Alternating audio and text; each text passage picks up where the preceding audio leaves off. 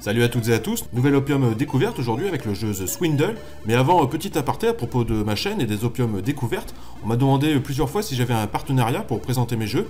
Alors non, je n'ai pas de partenariat, on ne me donne pas les jeux pour les tester, j'aime juste essayer de nouveaux jeux, des indés le plus souvent, et je me permets de vous les présenter. J'en achète certains, j'en télécharge d'autres euh, de façon illégale. Bref, mes vidéos ne sont pas sponsorisées, uniquement monétisées grâce aux publicités YouTube. Et comme les opiums découvertes dépassent à peine les 100 vues, ça représente même pas 10 centimes de dollars par vidéo. par contre, dans la description de mes vidéos, il y a un lien vers le site g2a.com. C'est un site qui propose des jeux vidéo à des prix attractifs. Je suis inscrit sur le site, je touche une commission sur chaque jeu vendu. Il ne me donne pas de jeu à tester, j'ai fait ce partenariat un petit peu pour essayer sans véritable conviction. Bref, fin de l'aparté, revenons à The Swindle. Alors trois mots déjà pour définir ce jeu, roguelike, punitif et énervant. Depuis quelques années, on retrouve pas mal de roguelike sur le marché indé. Il a été initié par Spelunky en 2008. Petit rappel du roguelike, ce sont des jeux de plateforme où les niveaux sont générés aléatoirement et où la mort est permanente. Chaque partie est donc différente et mourir est tout à fait normal. Il permet d'upgrader son personnage pour espérer aller plus loin. Alors The Swindle, sorti sur PC, PS4 et Xbox One ce 28 juillet 2015, développé par Size 5 Games, auteur de quelques petits jeux et surtout de Gun Monkeys, un roguelike en 2013. Dans The Swindle, l'histoire se passe en 1849, dans un univers steampunk à l'ère victorienne, donc anglaise. Scotland Yard, la célèbre police, a inventé une machine pour lutter contre le crime, une espèce euh, d'intelligence artificielle nommée The Deralt Basilisk.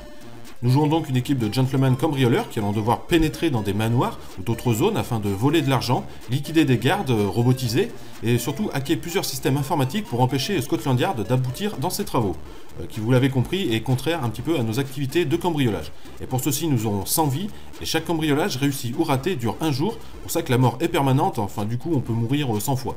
Alors sur le papier l'idée est plutôt excellente mais le jeu souffre de plusieurs problèmes. Chaque partie commence en tombant euh, de sa capsule, on doit ensuite s'infiltrer euh, dans un manoir rempli de gardes et rempli d'argent. On va pouvoir euh, sauter sur les murs, casser des fenêtres, récupérer de l'argent, tuer les gardes et revenir à notre engin volant steampunk. Ça paraît simple comme ça, mais ça ne va pas du tout l'être. Alors oui, les roguelikes sont par définition des jeux difficiles et punitifs, et ce sera exactement le cas avec The Swindle. Notre but est surtout de ne pas déclencher l'alarme en se faisant repérer par les gardes. Il faudra donc ouvrir les portes au bon moment pour asséner un coup sur les gardes dans le dos. Nos premières parties sont complètement approximatives, tellement on ne sait pas vraiment ce qu'il faut faire. Perso, il m'a fallu 15 runs pour comprendre et réussir mon premier manoir, c'est-à-dire euh, piller tout l'argent et revenir sans se faire choper par Scotland Yard ou par les gardes du manoir.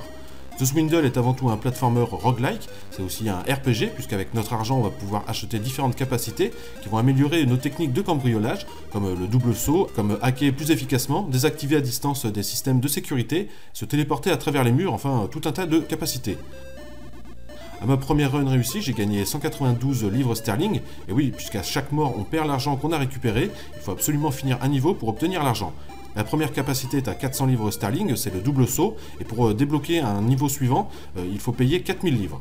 Alors vous l'avez compris, la tâche pour avancer dans le jeu ne va pas être simple, ça devient presque énervant, puisqu'en effet le jeu va être très punitif et parfois injuste.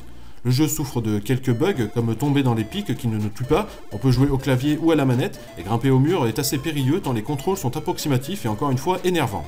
Pour en mettre une couche, la hitbox des ennemis est plus que douteuse. On se jette sur un garde pour lui mettre un coup par derrière. Eh ben non, euh, raté, le coup n'a pas marché et vous avez été repéré. L'alarme se met en marche et bientôt débarque Scotland Yard et ce sera alors euh, très dur de leur échapper ou plus simplement euh, un coup raté à cause d'une hitbox pourrie et votre garde vous tue en un coup. Alors punitif, frustrant et énervant.